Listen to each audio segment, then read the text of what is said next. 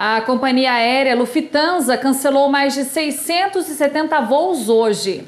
Em consequência de uma greve dos funcionários, a Lufthansa, a principal companhia aérea da Alemanha, cancelou grande parte de seus voos. A greve durou sete horas e aconteceu antes das negociações salariais. Os aeroportos de Frankfurt e Munique, os dois principais centros de conexão da empresa, foram afetados pela greve. O mesmo aconteceu com o aeroporto de Berlim.